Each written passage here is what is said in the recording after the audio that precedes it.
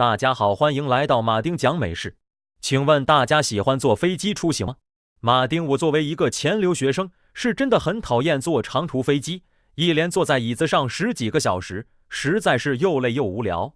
但是好在，比起墨西哥航班上的乘客，我还算幸运。请闭上眼睛，想象一下登机后，调好了座椅，系好了安全带，盖上了自己的小毯子，闭上眼睛，准备好好先睡一觉。这时候，耳边却传来了熟悉而又让人毛骨悚然的：“怎么有蚊子？”错了，不是一只蚊子，还是一群蚊子。就在最近，这班墨西哥航班上的乘客就遇到了蚊子入侵机舱的绝望情况。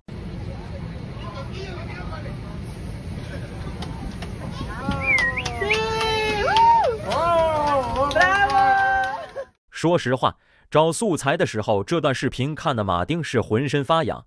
空乘人员是竭尽全力喷洒了杀虫剂和挥手驱蚊，但是无异于是杯水车薪。这伙蚊子就像是一架架小战斗机似的，在机舱里是横冲直撞，所向披靡。本来下午四点半起飞的航班，愣是被这群不速之客延误到了七点钟。但是看乘客们的样子，好像挺开心的。目前我们还不知道这些入侵机舱的蚊子是从哪里来的。不过这也不是他们第一次作案了。早在二零一九年，就已经有倒霉的航班被蚊子袭击过。据当地媒体报道，当地机场所在的地区为蚊子的繁殖提供了理想的环境。机场附近有丰富的水源和植被，同时还有一些被污染的水体。如果天气条件合适，就会大量滋生蚊子。